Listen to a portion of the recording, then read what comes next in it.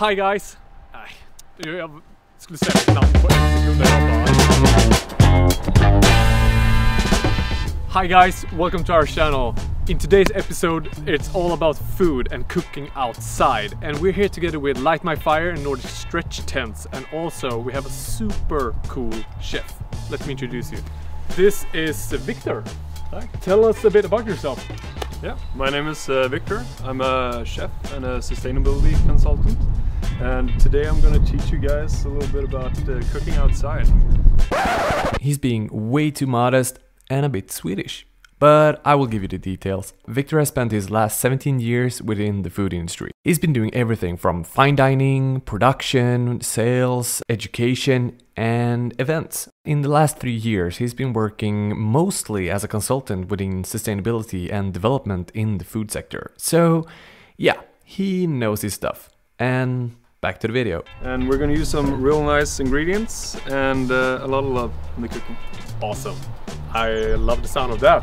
All right, let's do it.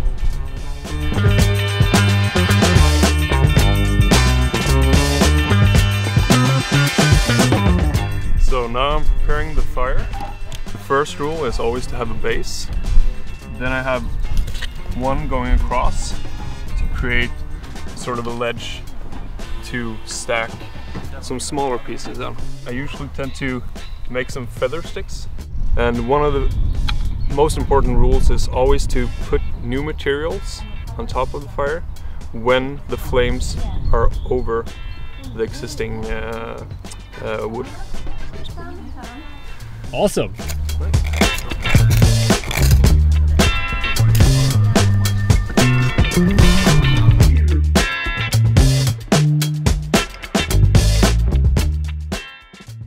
Now divided the the fire once it's burned down a bit. Because some things you can cook over fire but most of the things that you cook outside is cooked over or in embers. So I've divided the burning logs to one side and the embers to the other side. I've also ahead of time boiled some potatoes. We're gonna make a super delicious uh, salad which is based with potatoes, leeks and onions and buckwheat and a few more delicious ingredients. And I'm gonna show you how.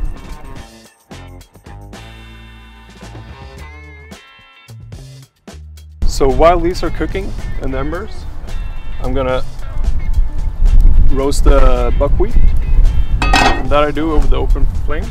Let the heat come up a little bit. Add a little bit of butter and let the butter just melt out a little bit before I add the whole buckwheats. It will take about five to 10 minutes to roast. And the main thing to keep in mind is always keeping them moving. And to know when the buckwheat is ready, you start getting these little beautiful brown golden tones in it. And at this point, you want to take it off the flame and just leave it to rest a bit. Keep stirring once in a while and you see the charring on it, that is what we want. We want the outside shell to char and the inside to cook. And onions for this size will take anywhere between 10 to 12 minutes to cook. So we have grilled onions, we prepared a potato, and we have fried buckwheat. Exactly. So what's the next step? The next step is to uh, take the charred vegetables out of the fire. Guys, if you could smell this, it smells awesome. Amazing. Yeah. And if you just touch this a little bit, you feel that it's a little bit soft. Yeah. That means that it's perfectly cooked. And the next step now is uh, that I'm going to prepare the, the pail. Yeah. And then we're going to brown some butter and Yeah. infuse that with sage. Cool. And that's gonna be the the taste maker, basically. A little bit of the sauce, so. Nice. All right. Let's do it. Do it. I started preparing the kale.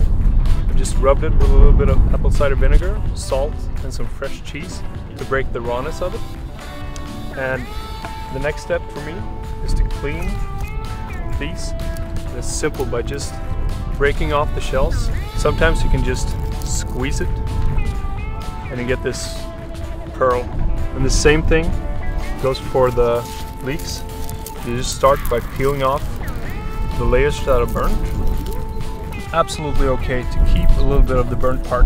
They add flavor and they also add a little bit of texture. And the next step that I'm gonna do now to finish the dish is to brown some butter over the open flame and infuse that with some sage.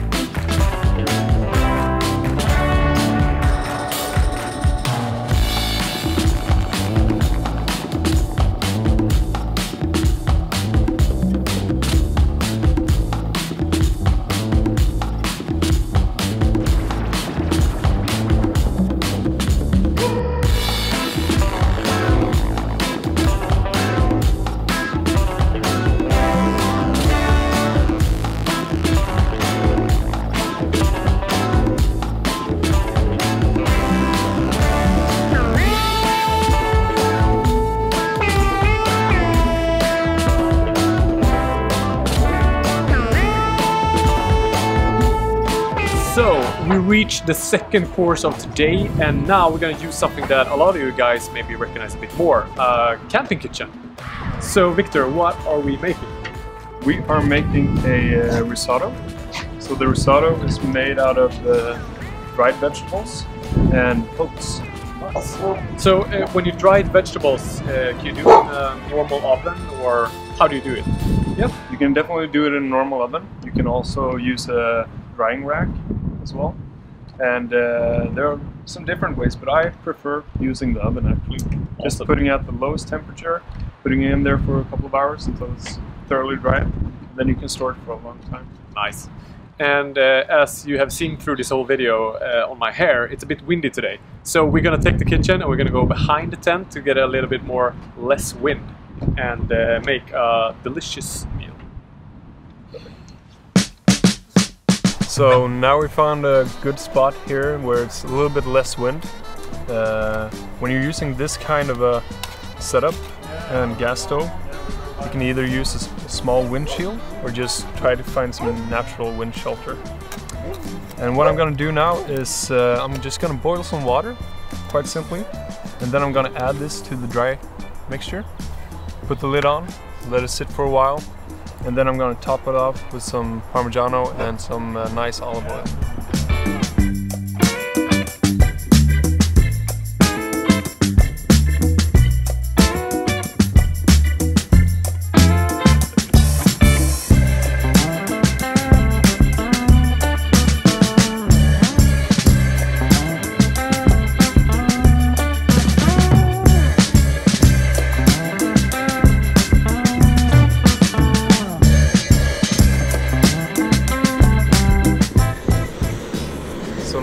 Getting a rolling boil, so I can turn it off the heat. And now it's just simply add the water to the mixture.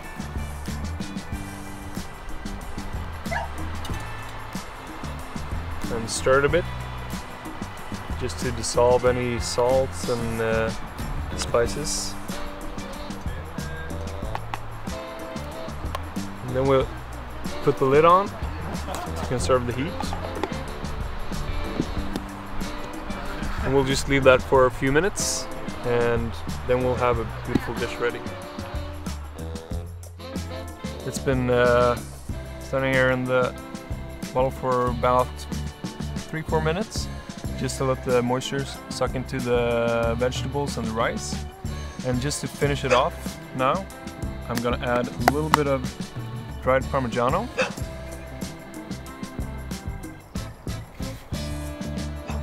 and to get some more nutrients and energy, I always keep a small bottle of some really nice olive oil.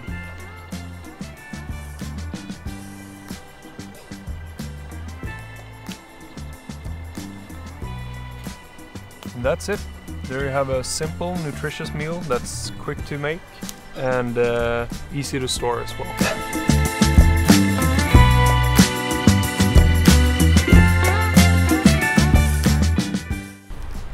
So, Victor, we are at the last course of the day. It's going to be a very simple one. This is something that you can prepare at home.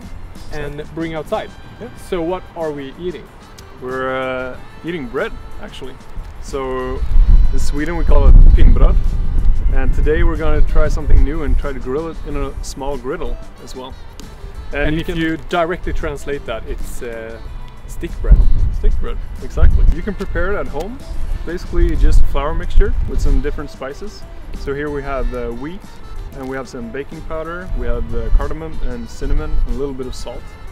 And what I did today was actually prepare the whole thing at home and prepare the dough. Nice.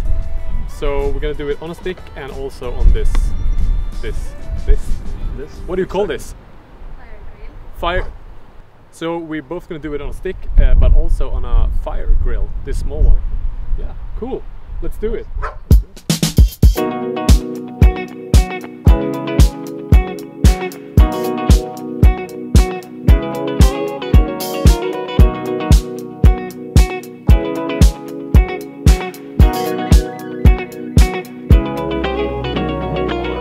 So I took a piece of the dough and I just flattened it out and put it inside the griddle and put a little bit of oil on the griddle just to make the bread not stick too much. And now I'm basically just slowly baking of it. Have some patience and uh, you will be rewarded.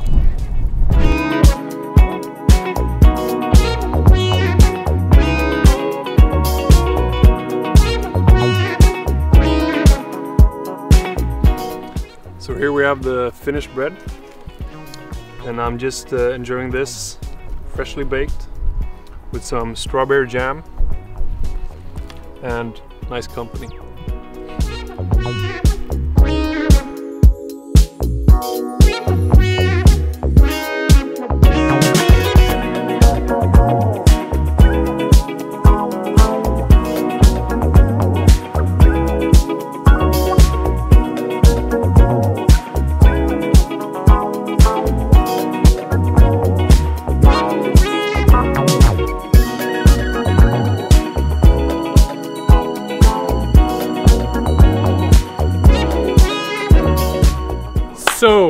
That was that. Hope you enjoyed this video guys. So we try to give you three different courses for three different occasions.